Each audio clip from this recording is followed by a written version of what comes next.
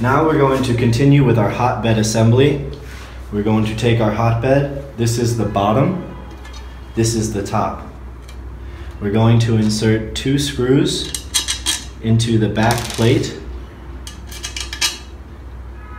And then we are going to take a spring, fix it onto and hold it onto the screw.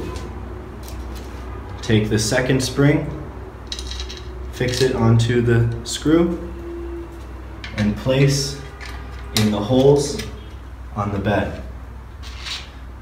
Take your next two screws,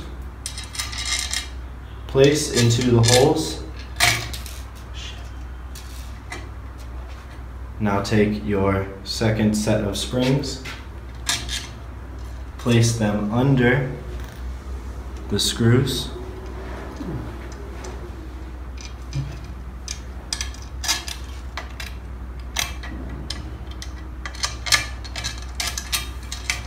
Like this.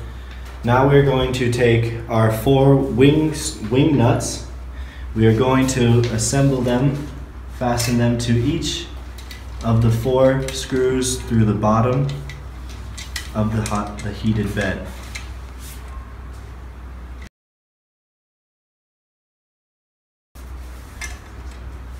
I might suggest that you use the screw